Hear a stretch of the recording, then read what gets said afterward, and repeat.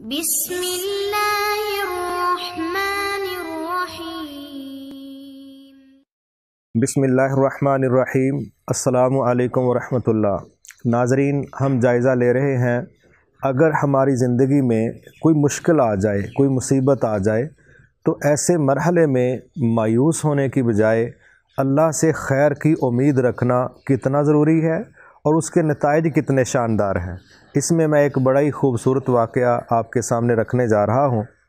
حضرت ابراہیم علیہ السلام، آپ جانتے ہیں کہ اللہ رب العزت نے ان کو اپنا دوست قرار دیا کہ وہ خلیل اللہ ہیں، اللہ کے دوست۔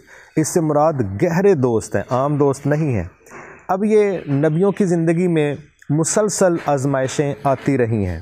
ان میں سے ایک مرحلہ یہ آیا کہ حضرت ابراہیم علیہ السلام اپنی زوجہ محترمہ حضرت سارہ کے ساتھ محو سفر ہیں تو راستے میں ایک ایسا بادشاہ ان سے ان کا واسطہ پڑا جو بڑا ظالم اور جابر قسم کا تھا اور بڑا گندے مزاج کا مالک تھا۔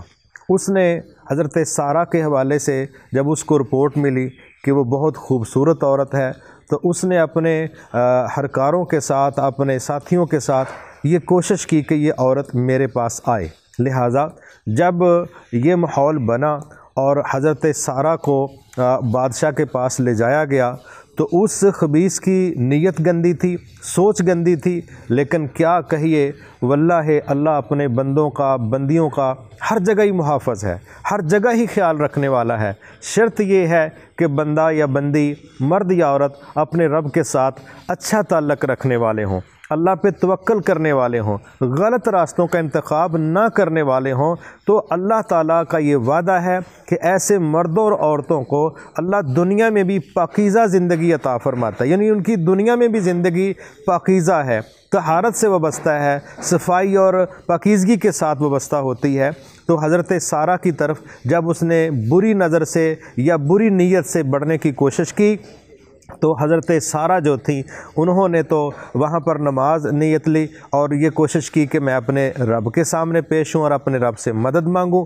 تو اس دوران اس بادشاہ کے ہاتھ پاؤں جو تھے، وہ مڑنا شروع ہو گئے۔ اللہ کی طرف سے اس پر پکڑ آئی اور یہ ایسا مرحلہ تھا، ایسا موقع تھا کہ یہ ایک دفعہ نہیں، یہ تقریباً تین دفعہ یہی مرحلہ درپیش آیا اور اس بادشاہ کو یہ سمجھ آ گئی کہ جو عورت میرے پاس آئی ہے، یہ کوئی عام عورت نہیں ہے، بلکہ اس نے تو اپنے ہرکاروں سے کہا کہ تم تو پتہ نہیں میرے پاس کسی کہہ لیجیے کہ جن کو لے آئے ہو کہ جب میں اس کی طرف بڑھنے کی کوشش کرتا ہوں تو بجائے اس کے کہ میرے لیے آسانی ہو، تو میرا تو جسم ٹوٹنا، بکھرنا، مڑنا، ٹیڑھا ہونا شروع ہو جاتا ہے۔ تو یہ مجھ پر تو ایک، کیا پکڑ کی کیفیت ہے؟ تو بہرحال، اب دوسری طرف دیکھیے کہ ابراہیم علیہ السلام پر کیا آزمائش ہے کہ میری بیوی اکیلی ہے، بادشاہ ظالم اور جابر ہے، اور یہاں ہمیں خطرہ ہے۔ اللہ تعالی ہماری عزت کی حفاظت فرمائے۔ وہ ایک غم کے اندر مبتلا ہیں، حضرت سارا خود پریشانی کے اندر مبتلا ہیں۔ لیکن چونکہ دو دونوں کی کوئی غلطی نہیں ہے۔ وہ بس ایک آزمائش تھی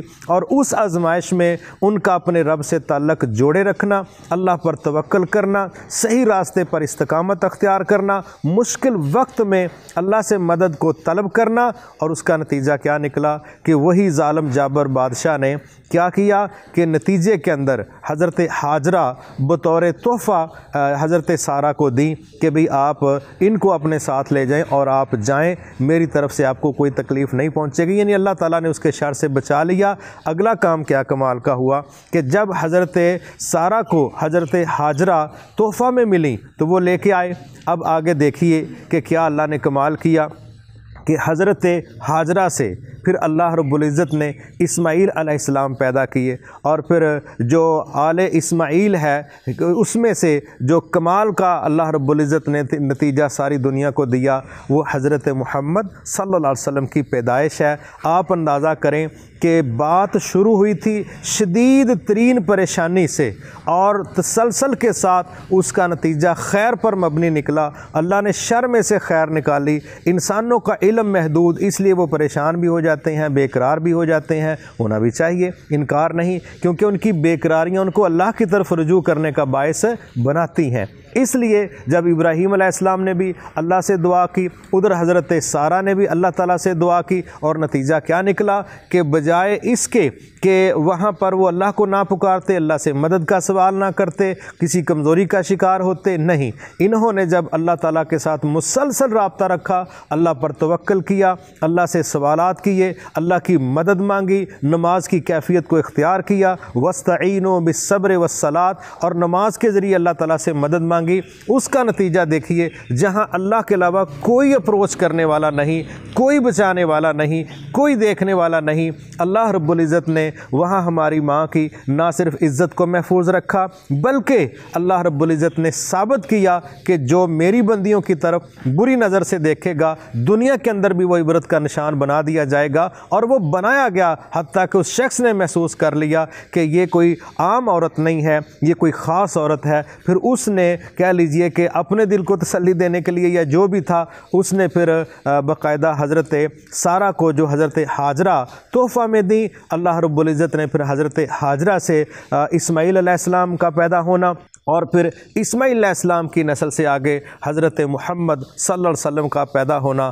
آپ اندازہ کریں کہ آغاز کا نقطہ کیا تھا اور انجام کا نقطہ کیا ہے؟ اس لیے یہ یاد رکھیے، اللہ نے قرآن مجید میں ایک جگہ فرمایا وہ آسا ان تک رہ شعین وہ و خیر القم و آسا ان تحب الشعین وہ و شر القم و اللہ علم و ان تم اللہ تعلمون، ہو سکتا ہے ایک چیز سے تم کراہت اختیار کرو، اس کو برا جانو، لیکن اس میں تمہارے لیے خیر ہو۔ اور یہ بھی ہو سکتا ہے، ایک چیز سے تم محبت کرو، اس کو مس کرنا پسند نہ کرو، اس کو حاصل ہی کرنا چاہو، اس کے مالک بننا چاہو، لیکن اس میں تمہارے لیے خیر نہ ہو۔ اس کی اندر کی حقیقت کہ یہ چیز تمہارے لیے بہتر ہے یا بہتر نہیں ہے، اللہ جانتا ہے، تم اس کو نہیں جانتے۔ تو ایک یہ واقعہ ہے، جس میں ہمیں بڑے سبق ملتے ہیں کہ انسان سیدھے رستے پہ رہے، اللہ پر توکل کرنے والا ہو، گناہ کا راستہ اختیار کرنے والا نہ ہو، مشکل میں رب کے ساتھ جڑا رہے، آسانی میں رب کے ساتھ جڑا رہے، تو اللہ رب العزت ایسے مردوں، عورتوں کی ہر جگہ پر حفاظت کرتے ہیں۔